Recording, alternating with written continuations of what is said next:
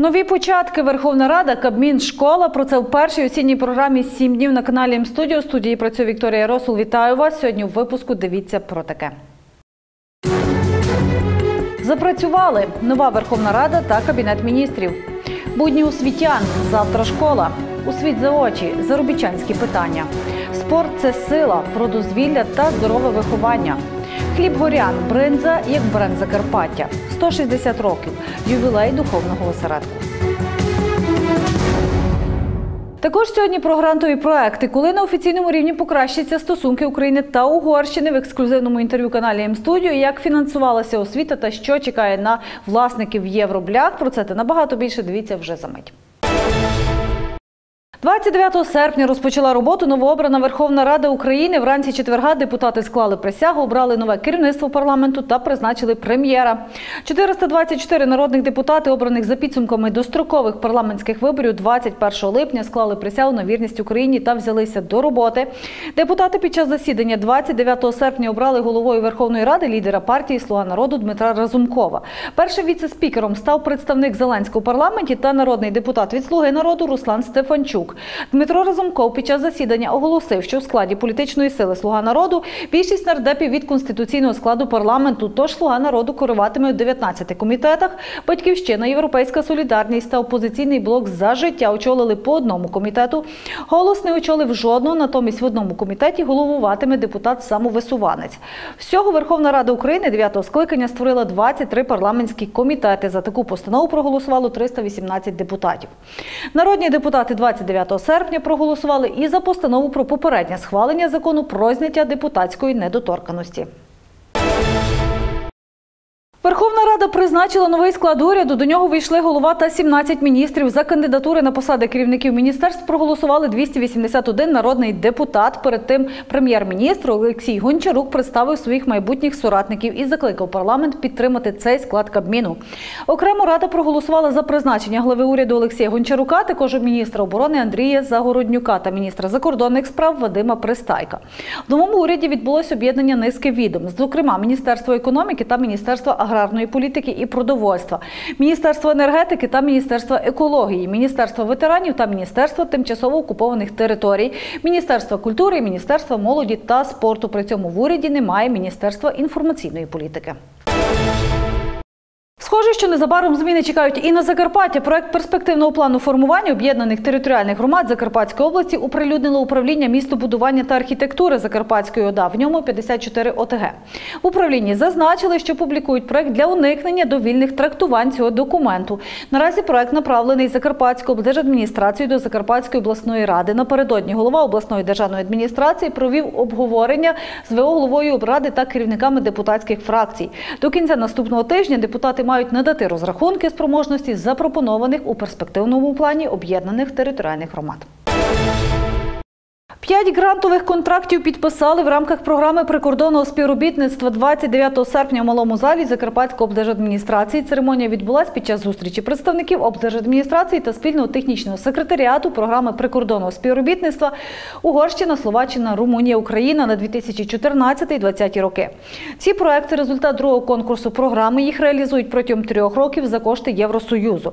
На чотири країни виділили 45 мільйонів євро. З них понад 3,5 мільйони підуть саме на Закарпаття. Хочу зазначити, Закарпаття у рамках нашої програми у пріоритеті, адже бере участь у всіх п'яти проектах. Це дає мені надію, що наша майбутня співпраця буде дуже тісною і надалі буде розвиватися у багатьох напрямах. Серед проєктів «Смарт-музей» як спосіб збереження культурної спадщини розрахований на шість музеїв трьох держав України. Це замок Поланок в Мукачеві та ще п'ять музеїв Угорщини і Словаччини. Бюджет 860 тисяч євро, з яких частина нашої держави – 280 тисяч. Реставрації нижнього двору замку Паланок, який зараз перебуває в аварійному стані. І е, е, сподіваюся, що дуже швидко ми ліквідуємо цей стан. І в у тих приміщеннях, які будуть відремонтовані, ми створимо нові експозиції вже цифрового характеру, сучасні, які е, будуть цікавими для споглядання і вивчення історії нашого краю. У партнерських організаціях будуть так само впроваджені цифрові рішення у експозиціях. Кожна з них буде унікальна. Спільні заходи щодо запобігання стихійним лихам транскордонному басейні річки Уж ще один грантовий проект, який реалізують спільно зі словацькою стороною за три роки. Його бюджет майже мільйон 150 тисяч євро. Також серед проектів екологічна оцінка відновлення природних ресурсів у Солотвині. Грантові проекти, які реалізують у 2019-2021 роках, результат другого конкурсу програми. Третій конкурс програми прикордонного співробітництва стартуватиме у вересні. Його бюджет 20 мільйонів євро. І про стосунки України та Угорщини з перших вуст розповів міністр закордонних справ Угорщини Петер Сієрто в ексклюзивному інтерв'ю нашому каналу. Тож про те, коли Угорщина розблокує прагнення України до НАТО та чи варто чекати на покращення стосунків двох країн, далі прямим текстом. Вдячні вам за можливість поспілкуватися з вами. І що за кирде, Перше питання стосунки України та Угорщини, якими вони є наразі, що відбувається зараз станом на цю хвилину. Hát nézze, a legnagyobb sajnálatunkra Magyarország és Ukrajna kapcsolatai az elmúlt években nagyon rosszul alakultak. Дивіться, на наш превеликий жаль, стосунки України та Угорщини в останні роки складаються не найкращим чином, і ми про це насправді шкодуємо. Тому що з одного боку нам не подобається бути у поганих стосунках із сусідами. Набагато краще мати добрі відносини ніж погані. З іншого боку, ті, хто найперше страждає від цих поганих стосунків, це угорці, які проживають на Закарпатті, і навіть всі громадяни України. Адже якби між двома країнами були добрі відносини, і євроінтеграція очевидно могла б відбуватися набагато швидше. Akit azért elég nagy különbséggel vertek itt meg. Якби мова йшла про євроінтеграційні прагнення України, про її вступ до НАТО, питання блокування руху до НАТО, який наразі здійснює Угорщина, що відбувається? Hát nézze, mi világosá tettük, hogy eh, nekünk eh, nem esik jól az, hogy eh, blokkolnunk kell a NATO-Ukrajna bizottsági üléseket. Дивіться, ми ясно говоримо, що нам самим неприємно те, що нам доводиться блокувати безпекові засідання України НАТО. Було б набагато краще, якби українська влада з повагою поставилася до прав угорців Закарпаття, і тоді ми могли б дати ту ж підтримку євроатлантичних прагнень України, яку попередньо надавали в євроінтеграційних прагненнях України. Не забуваємо, що Угорщина завжди обов'язково підтримувала євроінтеграційні прагнення України. Зокрема, підтримувала, щоб була укладена угода про асоціацію між Україною та Євросоюзом. Гучно і безапеляційно підтримували надання Україні безвізового режиму. Тобто, нам було б набагато приємніше, якби ми і надалі могли підтримувати ваші міжнародні прагнення. І тут хочу додати та акцентувати: ми одразу в ту ж хвилину скасуємо наше вето, що стосується стосунків України і НАТО, як тільки тут в Україні повернуться ті правові підстави, які повернуть угорцям забрані від них права, і як тільки припиняться утиски угорців, ми тоді одразу ж повертаємося до нашої політики, згідно з якою підтримуємо всі зовнішньополітичні прагнення України. Támogatásunkat adtuk az ukrán integrációs törekvésekhez. Яка мета підтримки закарпатських угорців та частини українських громадян? Hát nézze, két oka van ennek. Az egyik oka az, hogy egy ország azáltal is tud erősödni, hogyha a szomszédai erősebbek. Для цього є кілька причин. По-перше, країна може зміцнюватися тоді, коли має сильних сусідів. Нам, угорцям, Угорщині, цікаво, щоб Україна була сильною державою. З іншого боку, ми вбачаємо у сильних закарпатських угорцях позитив і для України, і для Угорщини. І ми зацікавлені в тому, щоб закарпатські угорці були сильними, і тому надаємо їм підтримку. Тому ми і започаткували програму економічної підтримки, за якою 24 тисячі проєктів отримали підтримку, серед яких ті, що запропонували дрібні і середні підприємці аграрії. Загалом це 13,5 мільярдів форентів вартості, які в результаті принесли 18,5 мільярдів форентів. Хіба це не допомога Україні, яка у своїй західній частині за фінансування сусідньої держави може розвивати тут економіку? Ці люди тут сплачують податки, тут відбуваються закупівлі, працевлаштування, нові робочі місця, і це позитив для України. І якщо нове керівництво української держави буде дивитися на закарпатських угорців як на частину суспільства, яка об'єднує дві країни, а не як ту, що спричиняє конфлікти, тоді стосунки двох країн будуть набагато кращими. У нас для цього є і пропозиції. Ми можемо надати вам підтримку у євроінтеграційних прагненнях. Ми готові надати 50 мільйонів євро кредиту для розвитку вашої інфраструктури. Ми б допомогли у побудові чотирьох прикордонних пунктів пропуску. Ми і надалі продовжували би програму економічної підтримки. Ми і надалі щороку оздоровлюємо більш як 200 українських дітей, чиїх батьків торкнулися військові дії на сході вашої країни. Ми здійснюємо лікування та реабілітацію для 37 поранених військових, і цього року приймемо на лікування ще 20. Як тільки виникла потреба, ми присилали хлор, вакцини для щеплень, щоб тут тривали справи. Як справи тривають тут і сьогодні? Világgazdaságban meg a világpolitikában elképesztő átalakulások zajlanak. Minden turbulens, minden változik, minden kihívásokkal. Дивіться, в глобальній політиці та економіці відбуваються масштабні зміни, і всі ми, в тому числі Україна, Угорщина, Європейський Союз, стикаємося з новими викликами. І в такий час дуже важлива стабільність. В Угорщині, наприклад, дуже важливо, щоб була політична стабільність. У нас, наприклад, прем'єр працює на посаді вже третій термін і опирається на дві третини парламентської більшості.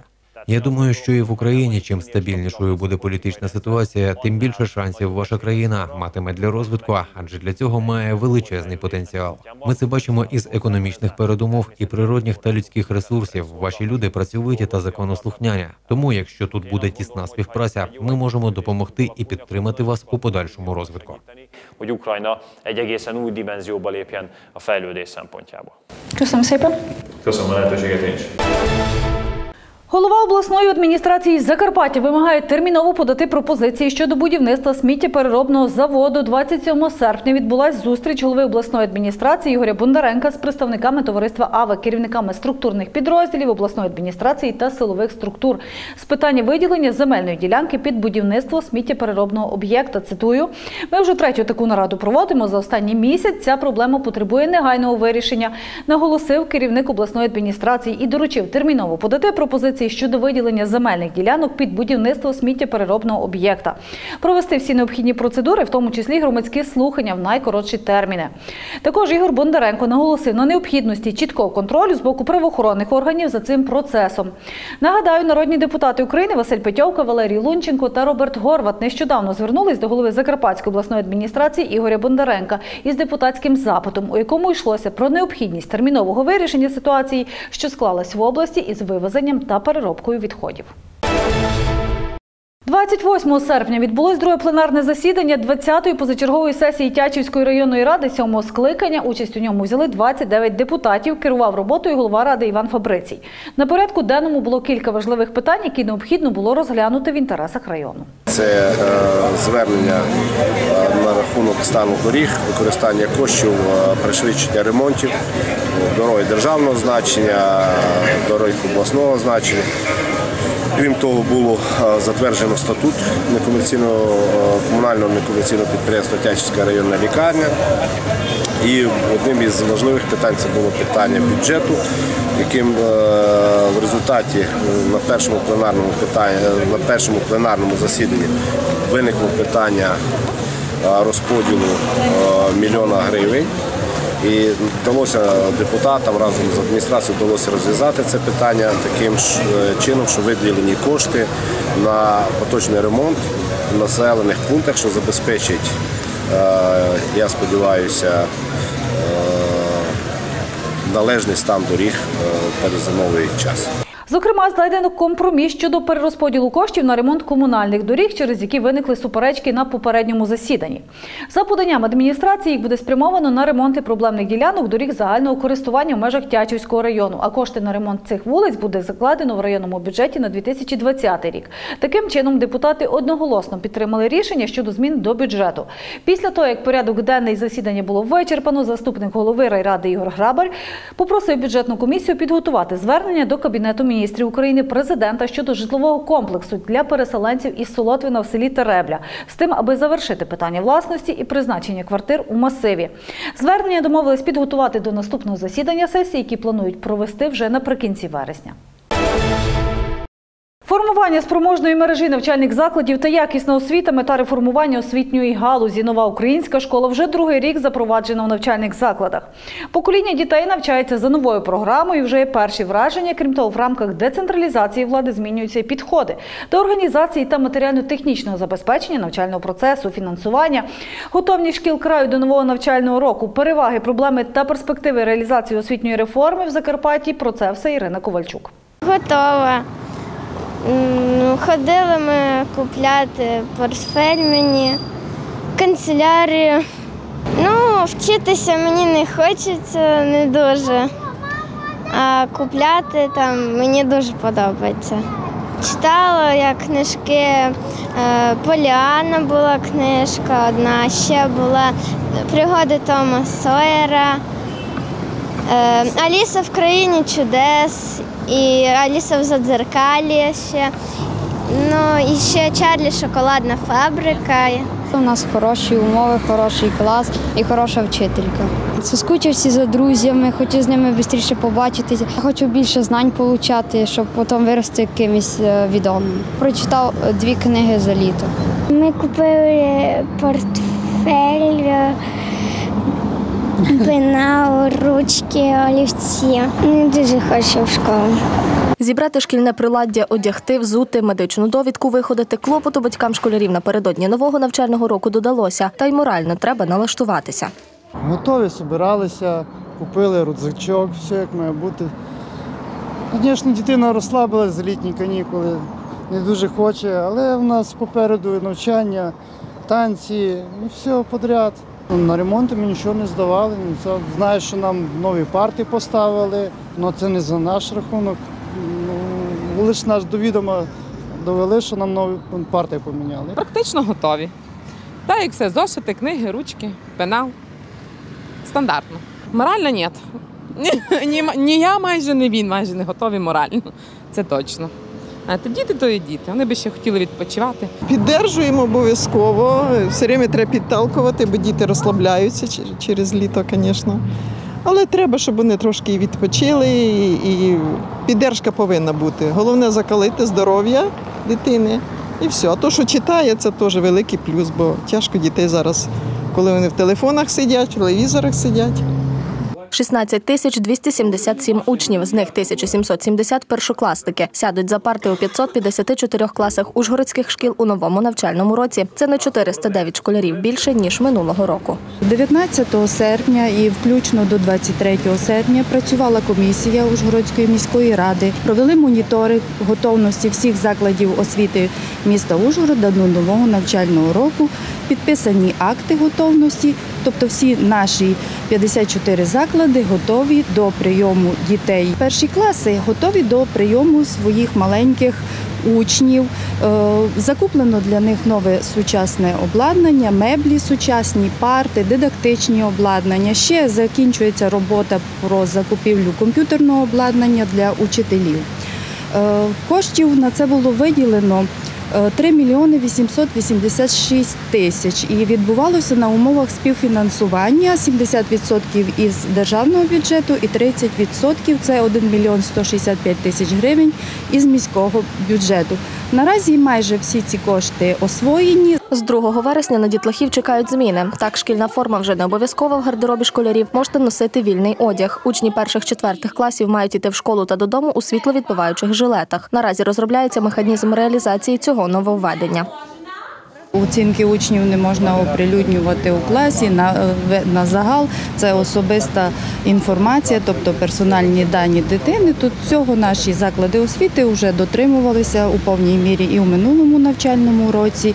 І ми наголошували на тому, що жодним чином не можна виокремлювати дитину серед інших дітей, тобто так звані дошки пошани, про які зараз багато у чому ну, багато про них говорять. Тобто досягнення дитини це досягнення дитини. І порівнювати її з іншими дітьми немає сенсу. Нововведенням це буде збільшення заробітної плати. 27 закладів загальної середньої освіти, 24 заклади дошкільної освіти, 3 професійно-технічні заклади та єдиний ліцензований приватний заклад середньої загальної освіти гірчичне зерно у мікрорайоні Боздош. У 2019-2020 році в Ужгороді працюватиме 55 закладів освіти. Таку мережу затвердили на засіданні виконкому Ужгородської міської ради 30 серпня. Також ми просимо затвердити 139 груп продовженого дня.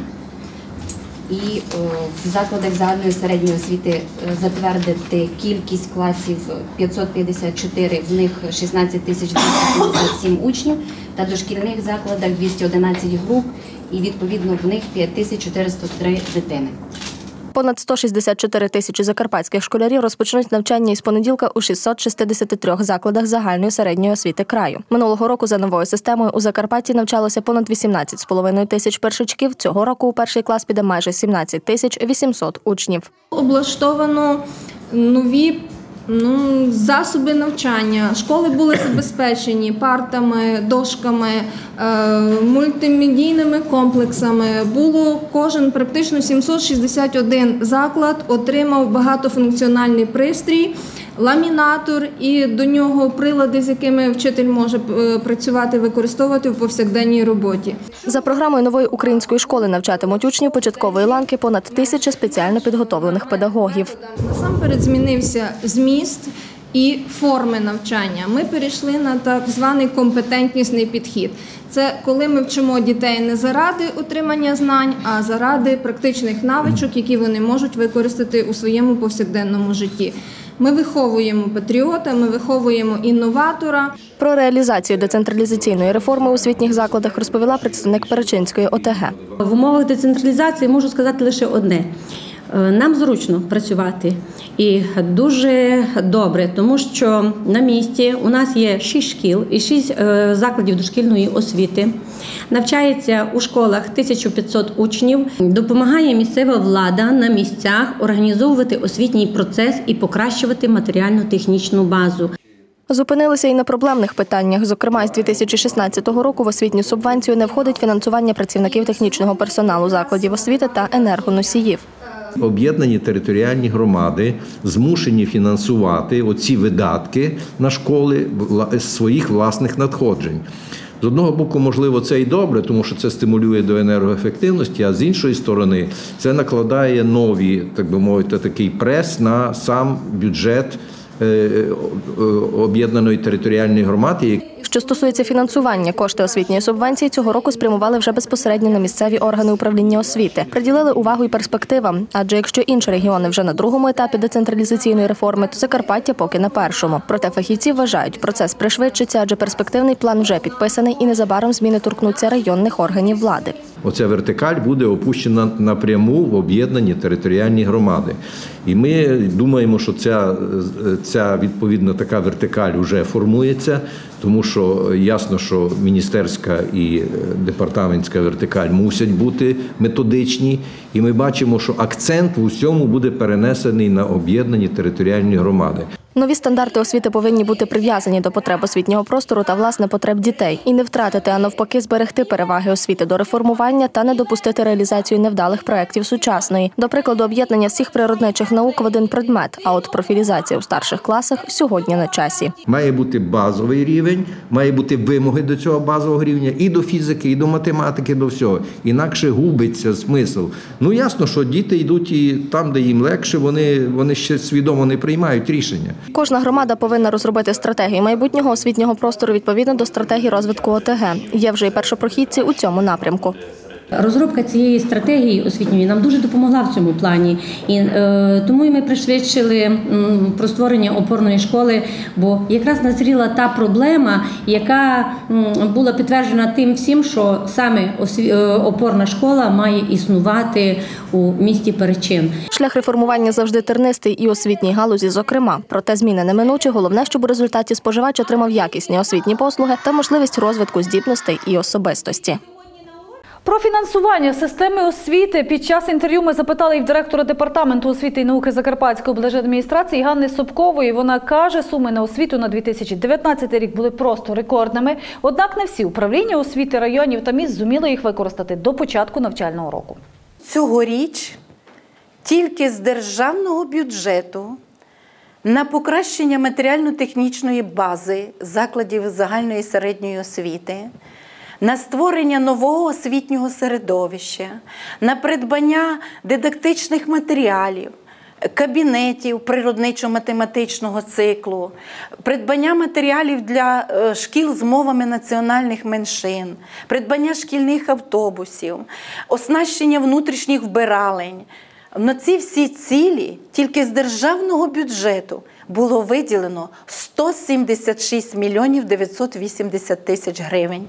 Такої цифри у нас не було ну, ніколи. І хочу сказати, що зазначена сума, яку я озвучила, 4 квітня 2019 року сесією обласної ради була розподілена між усіма органами управління освітою. Причому зроблено це було пропорційно до кількості учнів, кількості класів. Є такі райони, які я тішуся, що вони вже окремі використали кошти на 90%, окремі на 70%. Разом з тим є й такі які на сьогоднішній, е, на сьогоднішній день ще лише оголосили тендерні процедури. Я вважаю, що це є безвідповідально, безвідповідально в першу чергу перед дітками, які е, очікують на е, належні умови навчання і виховання. Тому, користуючись нагодою, я ще і ще звертаюся до всіх своїх колег, керівників органів управління освітою. Ви окремі пояснюють, що з радами нема співпрацювання. Ви мусите знайти, ви мусите використати усі важелі, рада, адміністрація, керівники, підключити все можливе і неможливе, щоб своєчасно і належним чином ті кошти були освоєні. А в хусті ПДО підводили підсумки роботи попереднього навчального року. Під час зборів запрошені учасники розглянули кілька актуальних питань та намітили пріоритетні завдання на наступний навчальний рік. Про результати конференції докладніше Вадим Софілканич. Відкрив Хустську районну конференцію з питань освіти начальник відділу освіти, молоді та спорту Михайло Калинич, почавши з важливості правильного підходу до дітей і їх навчання. Незабаром перед нами постане значна потужна робота. Ми повинні підвищувати свою кваліфікацію і здібності, щоб навчати фахово кваліфікованих спеціалістів.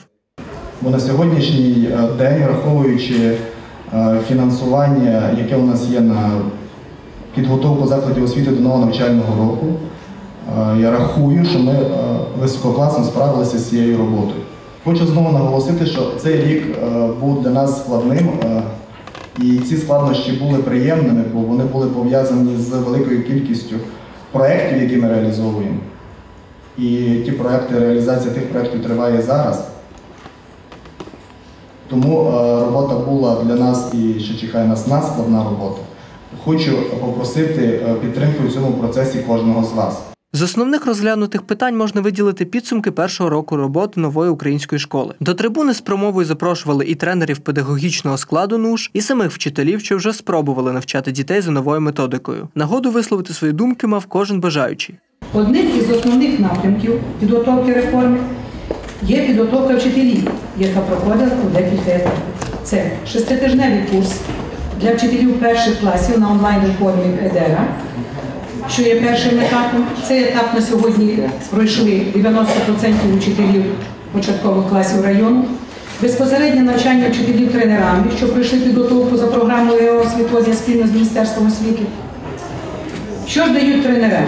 Тренера дають можливість вчителям відтворити теоретичні знання на практиці. Окрема увага приділялася темі педагогіка партнерства. Поглиблювали розуміння ролі батьків у освітньому процесі, знання різноманітних форм співпраці з родиною. Концепція НУШ передбачає, що у центрі освітнього процесу стоїть дитина. Її перебування у школі має бути максимально комфортним, а процес пізнання приносити радість і задоволення. Навчальну програму діти засвоїли, і я думаю, що їм сподобалося.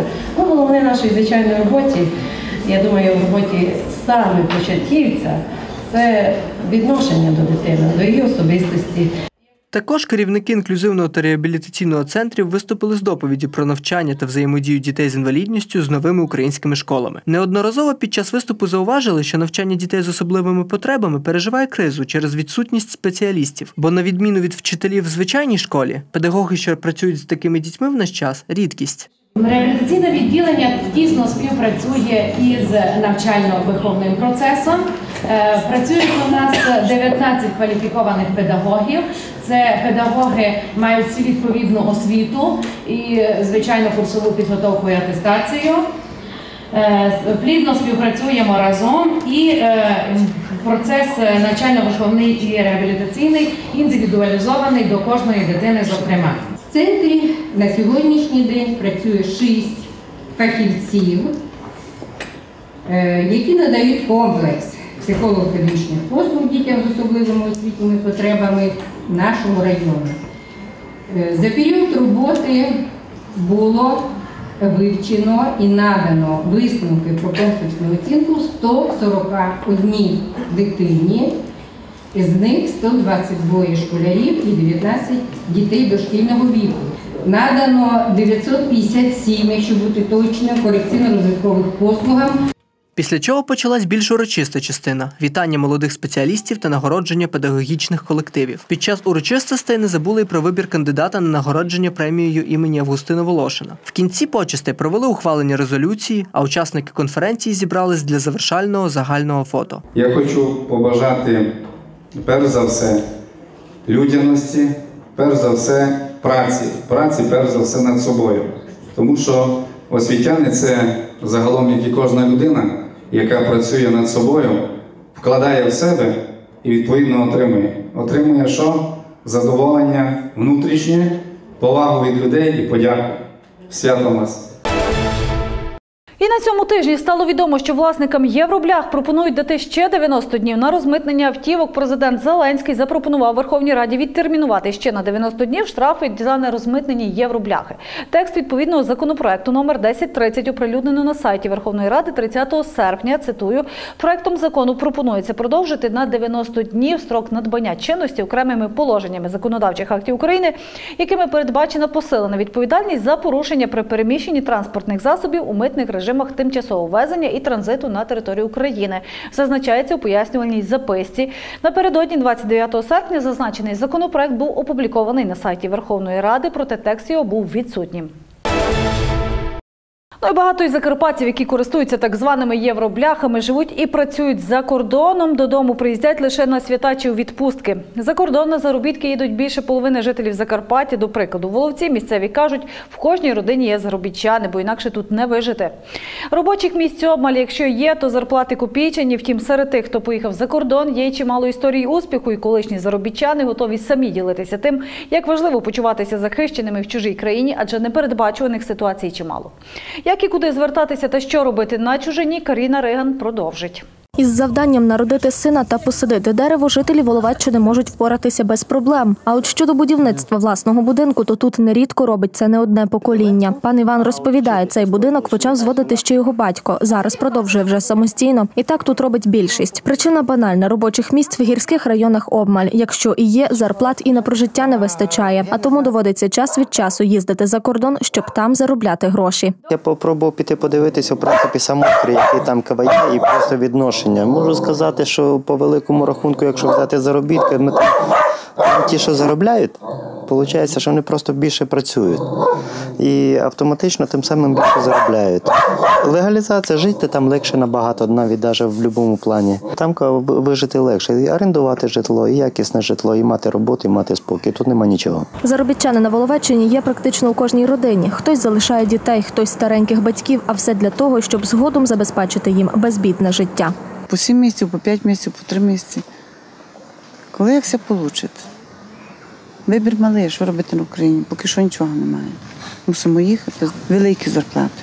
1200 євро за місяць. На Україні є така зарплата? Немає. У мами пенсія 1000 гривень. Прожити можна? Мої діти на заробітках.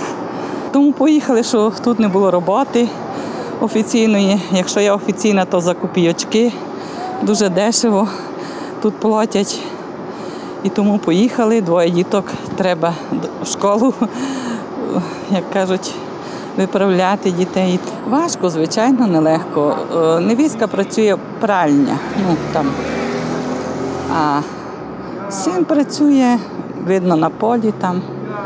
Там платять реальні гроші, можна заробити, розумієте, хоч що можна хоч більш-менш і одягнути діток, і в школу відправити, і собі щось.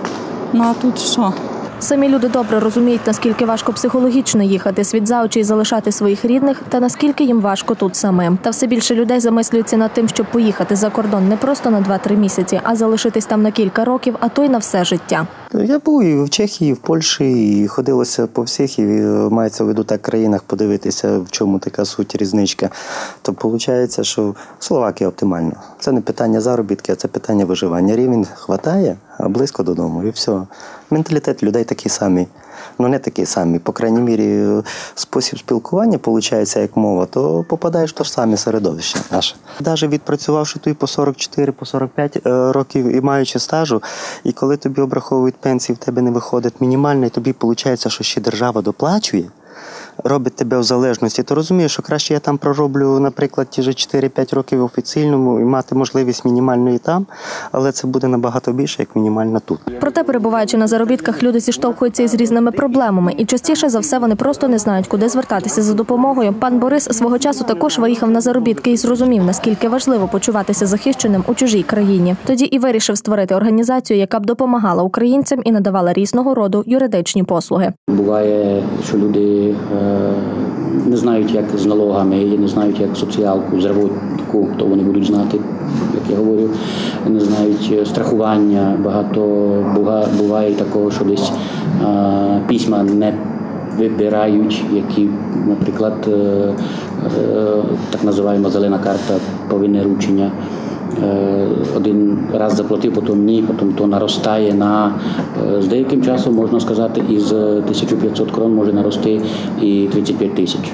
Десь люди бувають так, що приїжджають і по не їхній е, вині вони е, просто перебувають незаконно, працюють, і буває таке, що не можуть домогтися своїх грошей, на яких були договорені, тому що вони так якби на чорно чи на чорно. Я кажу, що кожна справа і кожна людина має право на захист, і це все е, можна допомогти людині, порадити як. Тому важливо все ж таки працювати за договором. Саме ліпше, де би людина не працювала, чи на чорно, чи не на чорно, чи на біло, е, треба мати все якусь угоду, підписати угоду. Я скажу так, що якщо угода підписана, то що це е, юридична е, угода, яка може бути і покарана, можна домогтися і в суді. Якщо людина вже їде на роботу, то вона не думає на це, що може ще щось стати, то що там не заплатять чи щось не зроблять. Ризику все є. Але вони стараються, що про них постараються, що їм все об'яснять. І тому я кажу, людина кожна має право на захист, і кожна справа має своє рішення. І е, кажучи, що я раджу людям зробити хоч яку таку догоду е, на листі паперу підписати. Е, Було би ліпше нотаріальні підписи обов'язково, але можуть між собою підписати, і хай люди роблять е, фотографії, відео знімають, е, де роблять, що працюють. Так як вони роблять це все на Фейсбук, показують всякі селфі, то можуть і про себе це зробити. Та все ж українці вірять, що шукати кращої долі за межами України їм не доведеться, адже життя на батьківщині та у колі родини найкраще. Важко, діти плачуть, сумують, дуже сумують за батьками.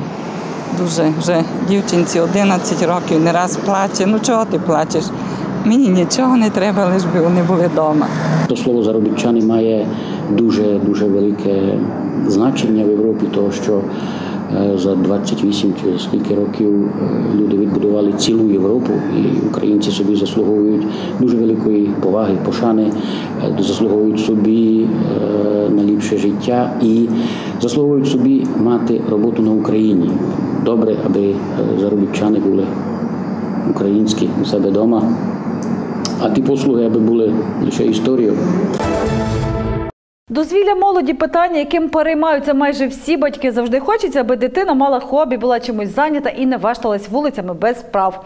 Навіть психологи стверджують, що дитина повинна постійно чимось займатися. І тут мова не тільки про навчання та різні факультативи, а ще й про звичайне хобі, як от спорт, танці, вокал.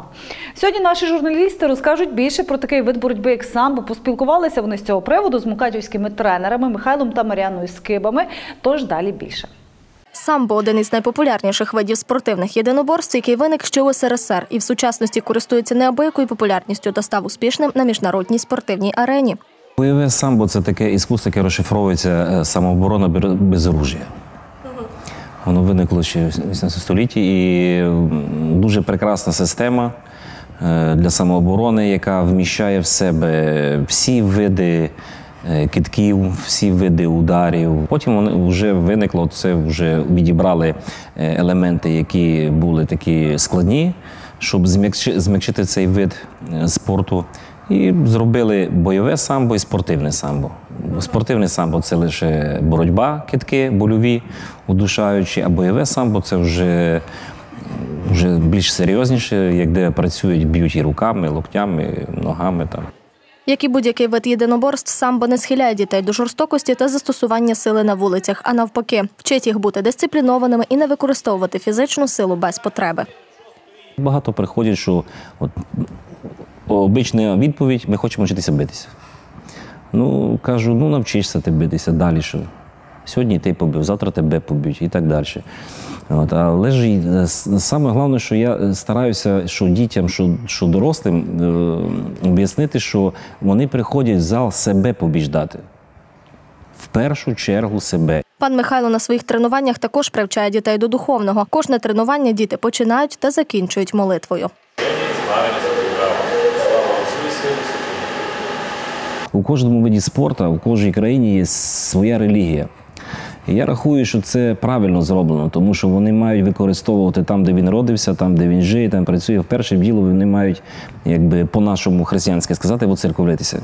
Маріанна дівчина, яка з маличку займається самбо і досягла в ньому неабияких результатів. Якщо у хлопців цей спорт виробляє силу та мужність, то дівчата отримують від самбо дещо інше. Думаю, е, бор- перебарювати свою лінь, е, дисципліну, характер. Займатись таким видом спорту можуть дітки вже з п'яти років. Як каже пан Михайло, вікових обмежень тут немає. Головне, щоб людина отримувала задоволення. Одні говорять, найкраще займатися з 12-14 років приходити. Але ж моя думка така, що ми вже бачимо на практиці, що чим скоріше дитина приходить займатися бойовими мистецтвами, тим вона е, привикає до того всього, стає крепка. Тож дослухайтесь до ваших дітей і дозволяйте їм самостійно обирати справу, яка до душі. Можливо, саме у вашій родині зростає майбутній геній та успішний спортсмен. 28 серпня на свято Успіння в Мукачеві урочисто відзначили 160 років освячення храму Успіння Пресвятої Богородиці. Довгий час ця церква була центром духовного життя не тільки для самих мукачівців, а й для багатьох гостей з навколишніх сіл та з верховини. Про появу церкви грецького обряду в нашому місті, її становлення та розвиток Олена Добра.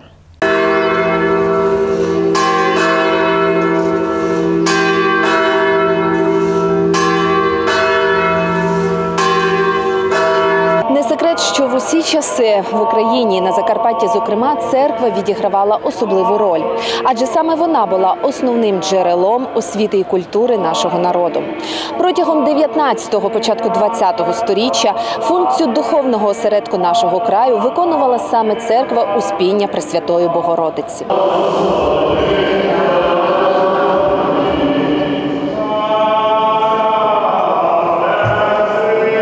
Закладання основ сучасної церкви Успіння Пресвятої Богородиці відбулося 1753 року, як єпископської резиденції. Нову будову було розпочато єпископом Михаїлом Мануїлом Ольшавським на землях, подарованих жупаном Березької жупи графом Євгеном Ервіном Шенборном. З 1770-х років тут планувалася резиденція єпископа, тому була закладена лише центральна частина храму, яку ми тепер бачимо, це основа велика прямокутної форми.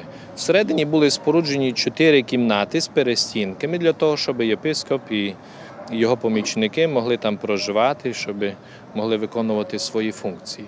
У 1775 році єпископську резиденцію було перенесено до Ужгорода. Там владика Андрій Бачинський провів значні ремонтні роботи як у храмі, так і в резиденції. Зведена ж будівля у Мукачеві залишалася порожньою. Тоді у кінці 18 століття єпископ Андрій Бачинський приймає рішення, що цю, ці чотири кімнати і основу сучасного храму передати у власність парафіальної громади, як церква якої знаходилася, де тепер маємо подвір'я нашої школи. Всередині знесли всі перестінки, добудували основні великі колони з арками, добудували і заклали фундамент для цієї вежі і для святилища з тієї сторони. Проте через брак коштів уже розпочаті роботи довелося зупинити. Тільки у 1829 році роботи відновилися завдяки надзвичайній активності отця Василя Довговича. Саме він затвердив план перебудови у тогочасного мукачівського єпископа Олексія Повчія. За задумом пароха Довговича, колишня резиденція мала перетворитися у величний храм. Почали роботи в 1804 році і завершили в 1859-му. 1859-му єпископ Василь Попович освятив уже е, наш храм в такій формі, в якій він є тепер, в основному. Малесенькі зміни тільки від того часу конструктивні відбулися. Початково споруджена вежа не була такою високою, як тепер. Але у 1837 році один з активістів громади Василь Бала звернувся до уряду за дозволом зробити її вищою. Так, після перебудови вежа стала найвищою у місті і служила місцем спостереження за пожежною безпекою. Як наслідок форма купола, який ми сьогодні бачимо, абсолютно не відповідає всім іншим куполам, які є того часу, того часу будовані в єпархії. Ні- Ніде на храмах не знаходимо е, можливості пройтися довкола турні.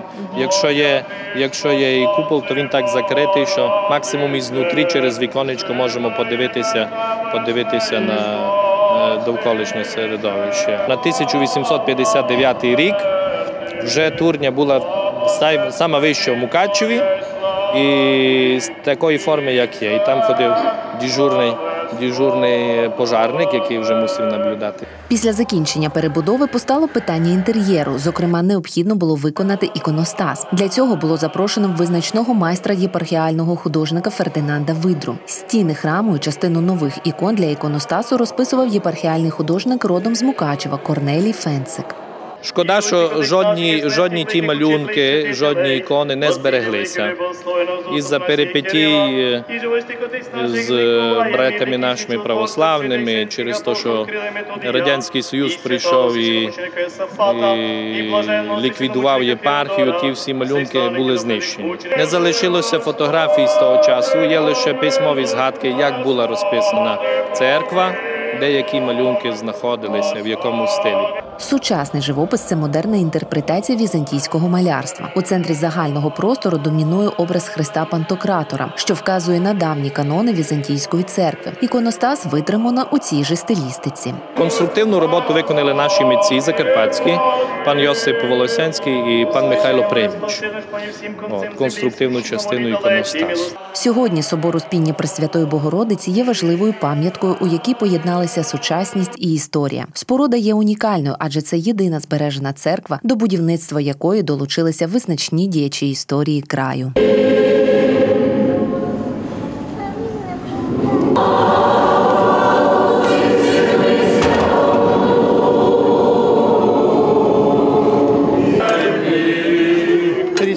Христос посреди нас. Христос посреди. Христос посреди нас. І насамкінець про вівчарство на Рахівщині, яке зберігало свою самобутність протягом багатьох століть. Високогірний клімат суворий, тому життя на полонинах починається в травні, закінчується вже в жовтні. Ці півроку найважчі для вівчарів, щоденна праця, жодних вихідних і кілька годин на сон. Сам насам з суворою природою Карпат. Тим не менше, досі є люди, яких не лякають всі ці випробування про хранителів давніх гуцульських традицій в сюжеті М-студіо.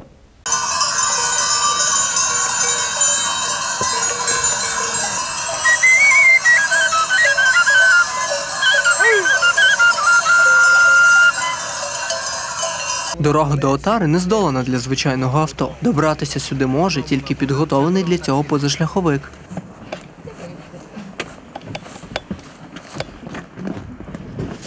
Робочий день починається тут дуже рано.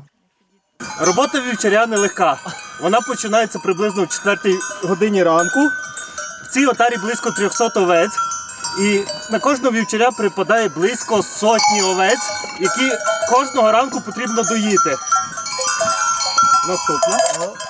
Навіть тут, на високогір'ї Карпат, все починається з кави. Рано встаємо, кофе п'ємо, і так йдемо доїти і починається процес. Вівчарство важко назвати професією. Скоріше це покликання, вартий поваги вибір, який часто доводиться робити в ранні роки. Михайло перший раз на полонинах каже, справжнім помічниками людей на високогір'ї є собаки-пастухи. Ці великі сміливі тварини неабияк допомагають людині. Привчені до життя з отарою, вони чудово виконують роль і охоронців, і пастухів. Вони нам допомагають, коли вовк нападає, вони наші помічники, вони нам допомагають, відганяють його від. Зустріч з диким звіром тут звичне явище. Цього літа в гості навідувались вовчиці з молодняком. У нас тепер це було літо, що з маленькими було з весни. Було з маленькими і нами неділю, так що і хазяїн виходив від нам. Помагав.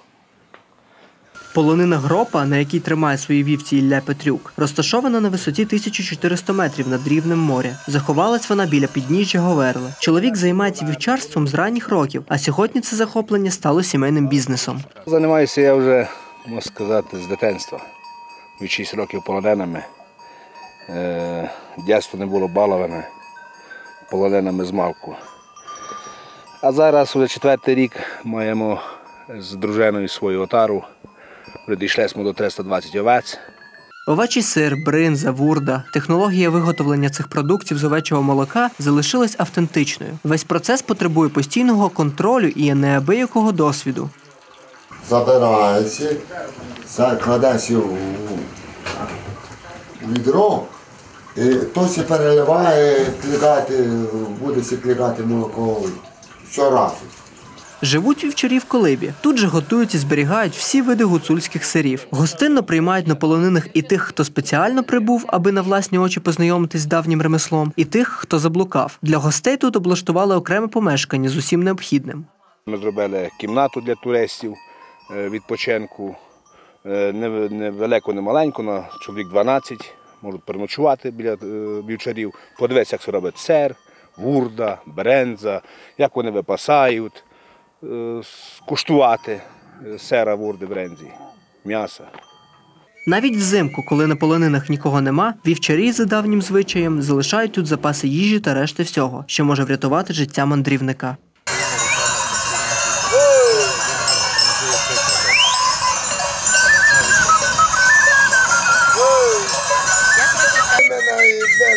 Мене є самого, та собою Завдяки ентузіазму справжніх фанатів цієї справи, вівчарство сьогодні отримало шанс розвиватись не тільки у звичному напрямі, а й стало одним з найперспективніших напрямів агротуризму. Така стратегія відкриває перед регіоном широкі перспективи. В нас споконвіку населення займалося утриманням овець, корів, е, коней, тому Рахівщина завжди орієнтується на розведення великої рогатої худоби і також працює з отарою овець. Дозволяти туристу ходити з отарою овець, що це зараз дуже набирає обертів популярно, і таким чином населення навчиться зайняти себе в агротуризмі, сільському туризмі і популяризувати буде Гуцульщину, Рахівщину і наш край. І вже наступної неділі в Рахові чекайте на найбільший та найяскравіший фестиваль Закарпаття гуцульську бринзу, де буде багато колориту, смакоти та гарного настрою. На цей тиждень вам бажаю успіхів. Тримайтеся, все буде добре. В студії працювала Вікторія Росул. Це була підсумкова програма «7 днів.